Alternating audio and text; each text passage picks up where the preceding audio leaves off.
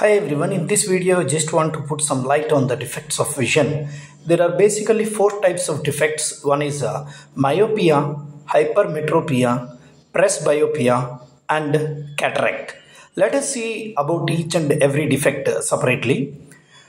First of all, what is myopia?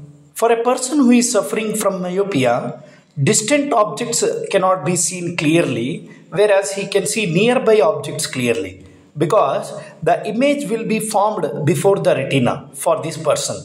The causes for myopia are excessive curvature of eye lens and elongation of eyeball.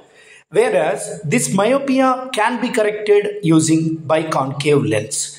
Now let us move towards second defect of vision which is hypermetropia. What is hypermetropia? For hypermetropic person, Nearby objects cannot be seen clearly, but distant objects he can see clearly. Because for this person, image will be formed beyond the retina. What are the causes for this hypermetropia? Eyeball of this hypermetropic person becomes uh, too small and also focal length of eye lens become too long. Now let us see how can we correct hypermetropia. Hypermetropia can be corrected by using biconvex lens whereas for myopia we use biconcave lens. Let us see the third defect of vision which is presbyopia. What is presbyopia?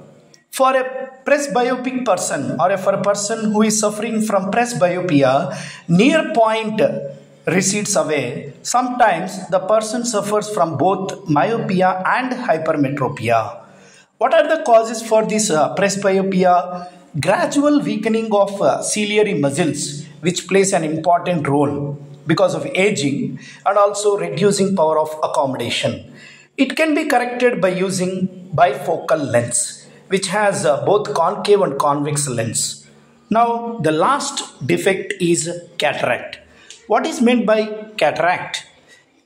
For a person who is suffering from cataract, his eye lens becomes, his or her eye lens becomes milky and cloudy.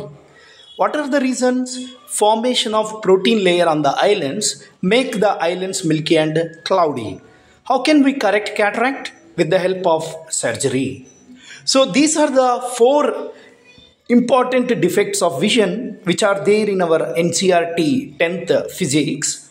For each and every defect, we have seen what is meant by defect, what are its causes and how can we correct them. Thank you very much for watching this video.